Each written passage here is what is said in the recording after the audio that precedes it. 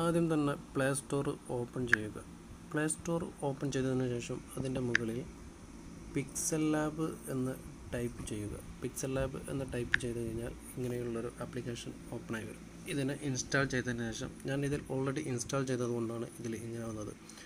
ഇനി ഈ ആപ്ലിക്കേഷനെ ഓപ്പൺ ചെയ്യുക.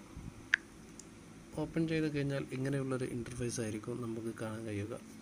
ഇതിൽ ഈ കാണുന്ന ന്യൂ ടെക്സ്റ്റ് ഈ ന്യൂ ടെക്സ്റ്റ് എന്ന ഈ ഒരു ഓപ്ഷൻ നമുക്ക് ഇതിന് ആവശ്യമില്ല. ഇതിനെ നമുക്ക് ഡിലീറ്റ് ചെയ്ത് ഒഴിവാക്കാം. അതിനുവേണ്ടി മുകളിൽ കാണുന്ന ഈ ഡിലീറ്റ് ബട്ടൺ അമർത്തി കഴിഞ്ഞാൽ അത് ഡിലീറ്റായി പോകുന്നതാണ്.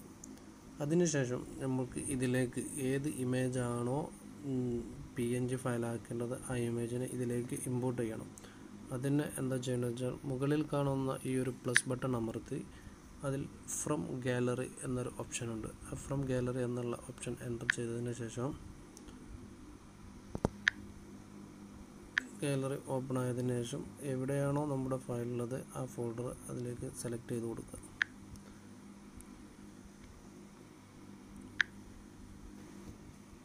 അതിന് ശേഷം മൂന്നാമത്തെ ഈ ഒരു ഓപ്ഷൻ ഓപ്പൺ ചെയ്ത് ഈ ഒരു ഓപ്ഷൻ ഓപ്പൺ ചെയ്തതിന്റെ ലാസ്റ്റ് ഒരു ഇറേസ് കളർ എന്ന് പറഞ്ഞിട്ടുള്ളൊരു ഓപ്ഷനുണ്ട്. അത് ഓപ്ഷൻ ടിക്ക് ചെയ്താൽ ഇവിടെ ഇങ്ങനെയുള്ളൊരു ഓപ്ഷൻ കാണിക്കും. എനേബിൾ എന്നുള്ള.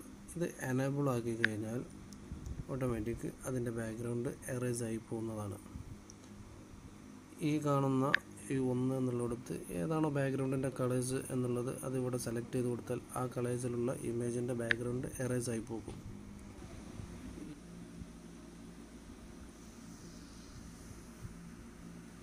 അപ്പോൾ ഈ ഒരു ഇമേജിന്റെ ബാക്ക് സൈഡ് വൈറ്റ് ആയിരുന്നു. ആ വൈറ്റ് ബാക്ക്ഗ്രൗണ്ട് ഇറേസ് പോയി ഇനി ഇതിന്റെ ബാക്ക് സൈഡിലുള്ള ഈ ഒരു ബാക്ക്ഗ്രൗണ്ട് ഇറേസായി പോകണം. അങ്ങനെ പോകുമ്പോഴാണ് ഈ ഒരു ഇമേജ് ഒരു പി എൻ ജി ഫയലായി നമുക്ക് കാണാൻ കഴിയുക.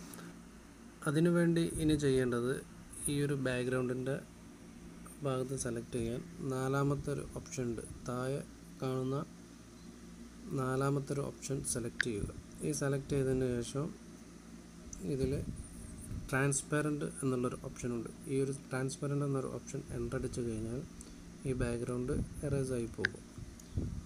ബാക്ക്ഗ്രൗണ്ട് ഇറേസ് ആയി പോയി. ഇപ്പോൾ ഈ കാണുന്ന ഒരു ഇമേജ് ഒരു പി എൻ ജി ഫയലായി മാറി. ഈ പി എൻ ജി ഫയൽ ഇനി സേവ് ചെയ്യണം. നമുക്ക് ഇഷ്ടമുള്ള സൈസിൽ എങ്ങനെയാണോ വേണ്ടത് വെച്ചാൽ ആ സൈസിലേക്ക് കറക്റ്റ് ഈ അലൈൻമെന്റ് സെറ്റ് ചെയ്ത് കഴിഞ്ഞ് അതിന് സേവ് കൊടുക്കുക. ഇനി ഇതിനെ സേവ് ചെയ്യാൻ മുകളിൽ കാണുന്ന ഈ ഒരു സേവ് ബട്ടൺ ക്ലിക്ക് ചെയ്യുക. ക്ലിക്ക് ചെയ്യുമ്പോൾ രണ്ട് ഓപ്ഷൻ ഉണ്ട്. Save as a project. Save as a image. ഈ save as a image enter ചെയ്ത് സേവ് ബട്ടൺ പ്രസ് ചെയ്തതിന് ശേഷം ഇങ്ങനെയുള്ളൊരു വിൻഡോ ആയിരിക്കും വരിക. ഇവിടെ image format P N G JPEG J P G P N G എന്നുള്ള രണ്ട് ഫോർമാറ്റായി കാണിക്കും. ജെ പി ജി കൊടുത്ത് എന്റർ ചെയ്ത് കഴിഞ്ഞാൽ ആദ്യമുള്ള അതേപോലത്തെ ഒരു ഇമേജ് തന്നെ ആയിരിക്കും ഉണ്ടാവുക.